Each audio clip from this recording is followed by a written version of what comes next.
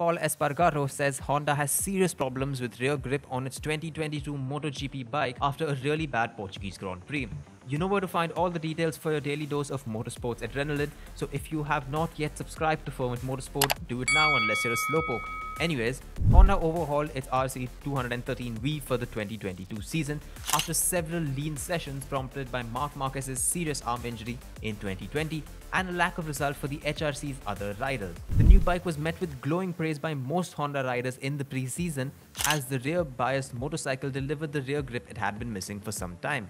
While the feeling on the front end was a bit different, with this being the key issue in Marquez's understanding of the bike currently, Honda started strongly in Qatar with Espargaro finishing third after fighting for victory.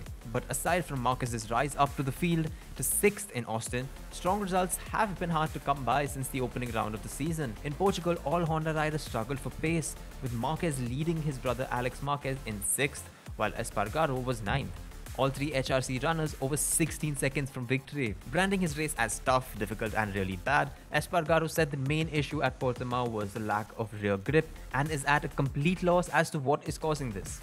We're missing what we had on in the pre-season. It's difficult to understand because we do not stop the bike in the correct place with the rear brake he began. And then we are leaning too much, opening the throttle, spinning on the edge. It makes no sense also that we choose the hard tire and the other riders on the grid chose the medium. We chose the hard because it felt better for us on the acceleration, the traction, but we saw Marc use the medium and it was the same.